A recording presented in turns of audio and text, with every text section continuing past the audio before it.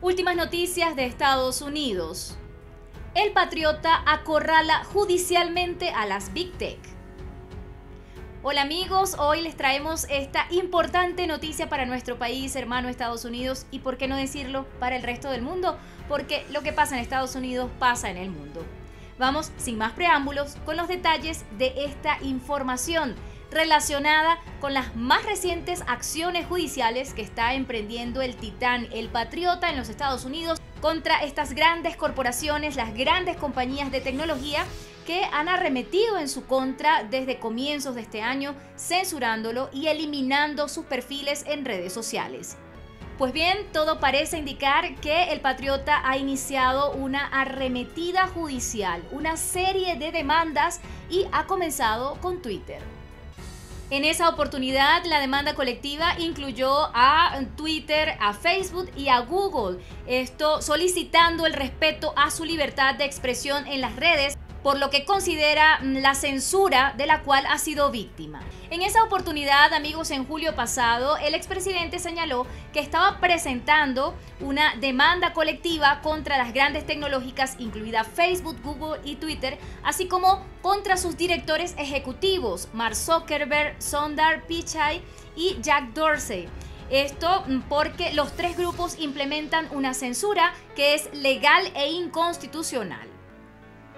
Recordemos amigos que las cuentas de las redes sociales del exmandatario fueron suspendidas de forma unilateral tras los hechos ocurridos en el Capitolio en enero de este año. Y lo que hizo el exmandatario en ese momento de inmediato fue denunciar lo que consideró censura. Ahora bien, hasta el momento sus cuentas no han sido restablecidas, pese a que el exmandatario era un gran usuario de estos perfiles públicos. De hecho, solamente en Twitter tenía unos 80 millones de seguidores que a diario estaban al tanto de las publicaciones que hacía en esta red social, por lo que están solicitando que se ordene de inmediato que se finalice este proceso de censura que consideran ilegal y no solamente ilegal, sino también vergonzoso por parte de estos grupos de redes sociales. Además, dicho que se están alzando por la democracia estadounidense al defender los derechos a la libertad de expresión de cada uno de los estadounidenses, de cada una de las personas que hacen uso de estas redes sociales. No solamente que sean republicanos, sino también demócratas, independientes o lo que sean, porque si hoy le ocurre a una persona de una tendencia, mañana le puede ocurrir a otra.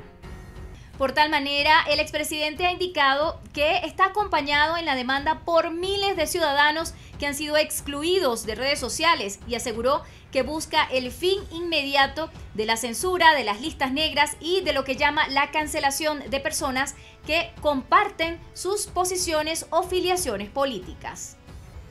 ¿Y ustedes qué opinan amigos? ¿Consideran que las Big Tech están fuera de control, como lo ha afirmado el patriota en más de una oportunidad? Por favor, dejen sus comentarios a esta información. Hasta acá el reporte informativo. Muchas gracias por su sintonía y sus preferencias. Hasta una próxima oportunidad.